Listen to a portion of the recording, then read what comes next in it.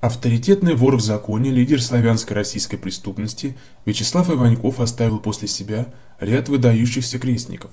Сам он был коронован в 74-м в известном московском следственном изоляторе номер 2, прозванном в народе Бутыркой.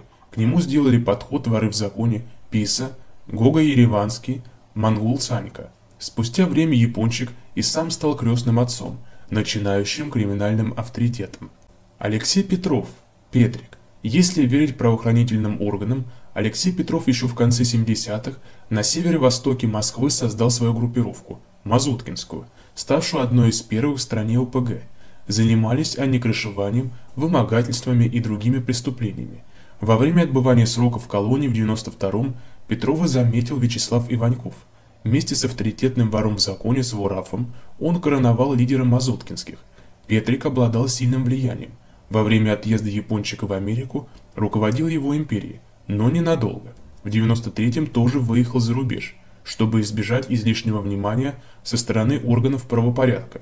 В Украине женился и поменял фамилию на Суворов. Сначала осел в Австрии, затем переехал во Францию. После покушения на крестного отца Иванькова Петрик прибыл к нему в больницу и, по словам некоторых приближенных, успел переговорить с Япончиком. В настоящее время вор в законе продолжает проживать за границей. Он часто принимает участие в сходках по поводу улаживания конфликтов между бандитами. Андрей Исаев. Роспись. Неоднократно судимый Андрей Исаев начинал с грабежей. Отбывая наказание, он повстречался с легендой воровского мира Васей Бузулуцким.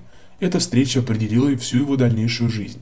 Коронован Исаев был вместе с Петриком в колонии в 92-м, Япончиком и Сворафом. Оба крестника Япончика были хорошими друзьями – Будучи обеспеченным, Роспись огромные деньги тратил на пополнение общего и греф для тюрем. Считался русским националистом, активно боролся с экспансией чеченских банд в столице, славящихся своим беспределом, хотя с коронованными кавказцами даже дружил и ничего не имел против.